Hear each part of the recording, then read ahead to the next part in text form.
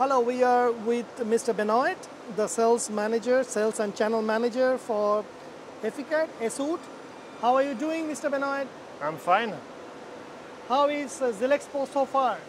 Uh, it's uh, quite uh, quite good. We are expecting a lot of uh, visitors uh, today and the, coming days. And how is the Italian market overall for you? It's a quite good market for us. It's uh, maybe our, our uh, third market, so in Europe, so it's quite important. So what exactly special software you sell in this market? So we are selling uh, CAD and CAM uh, software, make to uh, to uh, to design, to manufacture and automate the manufacture of uh, wood project. For the which industry they use this software? What ki- every kind of uh, wood industry, from the small workshop to big automated company.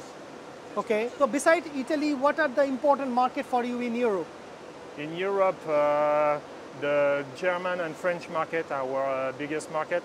Then closer to this market, there is also uh, United Kingdom and Italy and other all the the, the other quite country are quite uh, strategic country for Okay. us. Yeah.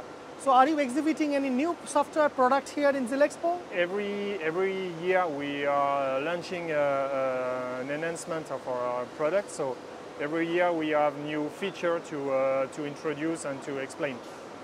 Okay. So beside Europe, how important is US market for you?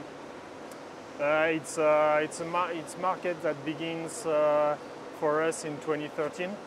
Uh, we opened their uh, subsidiary, so it's also an important market for us. So it's, will you be it's growing from uh, from years to years. will you be participate in IWF in August? yeah, Okay. You have a subsidiary in USA, correct? yeah, yeah, yeah. That's it. We have a subsidiary uh, with uh, several uh, several person working there, dedicated to the all the American market. And if I come back to Europe market, so what you predict for 2025? How it will start for you? Oh, it will be 2025? Of course, uh, a better year than 2024. That is already a better year than last year.